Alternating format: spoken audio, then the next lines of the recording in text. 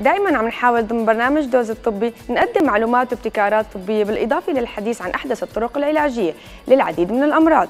وضمن هالفقرة وعبر السكايب من ألمانيا رح نحكي عن البروستات وعن سبل العلاج الحديثة بسرطان البروستات عن طريق التنظير وجهاز الروبوت اللي اسمه دافنشي أكيد رح يكون معنا الدكتور محمود فرزات اختصاصي بالجراحة البولية والجراحة بالروبوت ورئيس قسم الجراحة البولية والروبوتية بإحدى المستشفيات بألمانيا. ودكتوراه بالجراحة البروستات. مرحبا دكتور. أهلا وسهلا أهلا فيكم. أهلا وسهلا فيك دكتور. دكتور بداية خلينا نحكي عن إنه شو هي أنواع علاج سرطان البروستات الحديثة؟ تمام. آه، علاج سرطان البروستات بيختلف حسب مرحلة وانتشار السرطان. دائما نحن بنميز بين جروبين من السرطان يعني من انتشار سرطان البروستات. يا إما هو بيكون موضعي لسه موجود ما عطى انتقالات أو هو بيكون عطاء انتقالات سواء للعظام أو للرئة أو لغير أعضاء ثانية. السرطانات المنتشرة عادة بيعالجها الواحد علاج لكل الجسم سواء هو علاج آه، بالهرمون أو علاج كيماوي أو أو أو خيارات أخرى. نحن عم نحكي اليوم عن العلاج تبع السرطان الموضعي. لسه ما انتشر عطاء انتقالات. آه، ممكن يكون عطاء انتقالات بالأععاد اللمفاوية جنب البروستيت هون بقى كمان بتفرق حسب كل مريض حسب إذا عنده أمراض تانية ولا لا حسب قد إيه عمره حسب إذا عنده أعراض مشاكل أخرى مثلا بالتبول أو شيء. فنحن بنحكي هون يعني بشكل عام عن اتجاهين من العلاجات هو يا أما علاج شعاعي يا أما علاج جراحي. وأنا مختص بالعلاج الجراحي تبع البروستات. تمام. طيب دكتور دكتور خلينا نعرف شو بنقصد بعلاج سرطان البروستات بالتنظير. لما بنحكي عن العلاج الجراحي تبع سرطان البروستات فنحن بنحكي عن استئصال البروستات وعن الحويصلات المنويه لأن الاثنين مدموجين مع البروستات الواحد ما بيقدر يفصلهم عن بعض. وحسب خطورة السرطان من يعني نحن بنستأصل العقد اللمفاوية اللي موجودة جنب البروستات. هلأ لما بنحكي نحن عن تنظير بداية كان الواحد دائما يستأصل البروستات بعمل جراحي مفتوح عن طريق شق البطن يستأصل الأعضاء بالطريقة التقليدية تبع الجراحة. هلا هذا الحكي تطور من 30 سنة يمكن 20 30 سنة وبلشوا الجراحين يعملوها بالتنظير البسيط اللي هو عن طريق انه الواحد بينفخ غاز بقلب بطن المريض وبدل ما يعمل شقوق جراحية كبيرة بيعمل شروق يعني جروح تنظيرية أصغر. هي تعمل أقل تراوما للمريض. هلا من 15 سنة تقريبا يعني 10 15 سنة على مستوى العالم وعندنا هون بيوروب كمان أكثر بلش الجراحه بالروبوت. هي بداية يعني هي ال ال ال ال إجت من الجراحه التنظيريه ولكن تطورت أكثر فهي صارت الجراحه المساعده بالروبوت. هي كمان بنفوت نحن نعمل نفس المهمة اللي يعني نستأصل البروستات مع الحويصلات المنوية مع الأععاد اللمفاويه ونريد نوصل للمثانه مع الإحليل. ولكن بطريقة خلينا نقول أقل تراوما أقل أقل أذية أذية وأقل وجع ممكن يعني فينا نقول إنه هو الروبوت فعليا شيء أحدث للتنظير. الروبوت هو تماما هو بالسبكتروم هو باللسانه نحن ضمن إطار التنظير بشكل عام الجراحه التنظيريه اللي هي مش الجراحة التقليدية المفتوحة اللي محل ما كنا نحن نعمل جراحية كبيرة ببطن المرضى أو شيء. آه ولكن هو المرحلة ال next level يعني هو المرحلة اللي بعدها. آه بالروبوت شو فرق الروبوت عن الجراحة التنظيرية العادية؟ بالجراحة التنظيرية العادية نحن نفوت بال instrument بالأدوات تبع الجراحة تبعنا اللي هن شغله مثل الملقط أو مثل المقص أو أو أو. اللي هن تقليديين الواحد ما بيقدر يحركهم كل الاتجاهات وهن simple يعني هذول كاجهزه وأدوات. بالروبوت أنا كجراح الروبوت بيقدم لي إنه أنا بيكون عندي بنفس الوقت four آه، يعني أربع أجهزة أربع أدوات أنا بقدر أتحكم فيهم بنفس الوقت لأن هدول الأجهزة بدقة كثير عالية شوي complicated شوي معقدين أكثر برؤية أوضح بكثير وهذا الحكي بيساعدني إني أعمل عمليات معقدة أكثر شوي. بطريقه خلينا نقول إنه هي أدق يعني حتى دكتور ممكن بهالحالة يختصر وقت. صحيح. تماما. هلأ حسب حسب يعني كمان أكيد كل جراح ولما الواحد ببلش يكون بيعمل عمليات كثير فبيختصر وقت أكثر يعني نحن هون عندنا تجربتنا نحن بنعمل القسم تبعي 300 عملية بالسنة تقريبا. فبنعمل هاي العملية تقريبا يعني 8 ل 10 مرات بالأسبوع فنحن عمليا أسرع من الجراحين اللي بيعملوها بطريقة مفتوحه تقريبا بتختصر نص الوقت. تمام. تمام.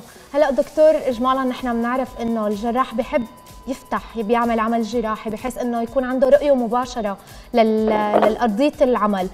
هلأ نحن بعد فترة صرنا منتقلين للتنظير وهلأ عم تتفضل حضرتك بالروبوتك اجمالا كل الحالات نحن بنقدر نحن نعملها بالتنظير ولا حصرا بعض الحالات والأغلب نحن بنستعمله جراحي؟ هلأ الجراحين يمكن كانوا يحبوا إنه يلمسوا الأعضاء بإيديهم. هذا الشعور تبع تماما. يعني. هو شيء كثير حلو بس هلأ إذا بنحكي عن الرؤية أنا بحكي عن تجربتي من سرطانات. نحن بنعمل عمليات على البروستيت على المثانه وعلى وعلى الكلية وعلى الحالب وعلى باقي أعضاء البولية. حتى أحيانا على الامعاء أعضاء ثانية بالبطن عند الأجهزة التناسلية تبع النساء و. فالفكرة بس إنه نحن لما بنحكي عن عمليات الحوض اللي هي كثير دقيقة فنحن بالروبوت بنشوف أحسن بكثير من الجراحة المفتوحة العادية لأنه نحن عم نشوف 10 ل 20 مرة رؤية مضاعفة أكبر يعني الشيء اللي عم نشوفه. وثاني شيء نحن بنستخدم أضوية كثير قوية فهذول الأضوية يعني بخلوك تشوفي أحسن جوا. هلأ شو ال contraindication شو المضادات؟ أو يعني أنا شو الشغلات اللي بقدر أشتغلها بالروبوت ولا لا؟ عمليا كل شيء نحن بنشتغله أه، بالروبوت. كل شيء كل شيء كنا نشتغله مفتوح بالطريقة العادية صرنا نشتغله هلا بالروبوت. اللهم يعني كبت أكيد مضادات اصطفاف لكل مريض إنه الواحد يعمل له جراحة بشكل عام إذا كان مثلا قلبيا المريض ماله كثير منيح أو عنده مشاكل أخرى على مستوى الرئة أو أو أو. هلا الشيء اللي بيخص الروبوتك بحد ذاتهم المرضى اللي عندهم زرع بسموه معرف ارتفاع ضغط العين. إذا كان مرتفع كثير هذا الضغط وما له مضبوط عند طبيب عينية فبنبعته لعند طبيب عينيه مشان يظبطوا الضغط تبعهم ويرجعوا. ولكن مثل ما قلت يعني. دكتور نحن معناها حتى بالروبوت تغلبنا على مشاكل التنظير اللي هي أساسا نحن ما كان فينا نعمل تنظير لما بيكون في عنا التصاقات أو عمليات صح. جراحية من قبل أو حتى إذا في عنا حمل. آه، يعني بعض ال indications اللي نحن ما فينا نعمل فيهم تنظير فعليا الروبوت قدر يتجاوزهم. هلا تماما. يعني هذا الحكي لهلا هو dilemma. هو موضوع جدال نقاش بين الأطباء بكل الكونغرسات كل المؤتمرات الطبية اللي بتصير. أنا إمتى لازم أشتغل مفتوح؟ إمتى لازم أشتغل روبوت؟ إنه نحن ما لازم يعني نبالغ باستخدام روبوت بكل شيء. هلا الالتصاقات كانت هيك هي كانت مثل ال myth يعني كانت العالم إنه كلها بتقول ما بصير نحن نعمل عملية جراحة تنظيريه أو بروبوت لما بيكون المريض عنده عمليات من قبل ببطنه بهذا الحكي بصراحة بالنسبة لنا يعني تجاوزناها هي حتى المريض لو كان كثير عنده عمليات نعمل يعني نفك هذول الالتصاقات نفسهم بالروبوت. هلأ عند الحوامل بالأساس نحن بنحاول كل عملية نأجلها لبعد ما الحامل تولد أو يخلص الحمل. فاخبرتنا بالعمليات اللي بتصير عند الحوامل أقل. يعني أنا ما بعرف حالي اني عملت عملية لحامل روبوت لحد اللحظات روبوت أو تنصير. اللهم اذا إسعاف وعندها زايده للتنشار وقت اجباري بدنا نعمل. طيب دكتور هلأ يا تمام. من شوي ذكرت حضرتك إنه من أهم ميزات الروبوت أو وحده من ميزاته إنه إحنا بنقدر نشوف رؤية واضحة ومكبرة أكثر وممكن نوصل لمحلات ما كان بيقدر الجراحة العادية توصلها. طيب في ميزات أخرى للروبوت دافنشي؟ ميزات أخرى مثل ما حكيت أهم شغلة فيهم إنه نحن الأجهزة اللي بنستخدمها الأدوات اللي بنستخدمها هن فينك انت تديريهم ب 360 درجة بكل الاتجاهين وكل وحدة فيهم لها ثلاث مفاصل فانت بتتحركي بأصابعك بتتحركي بمفصل إيدك وبتتحركي بمفصل المرفق.